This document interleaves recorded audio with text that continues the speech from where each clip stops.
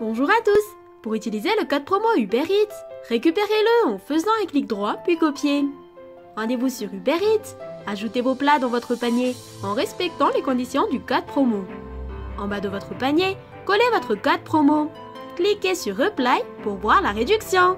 A bientôt sur moindépenser.com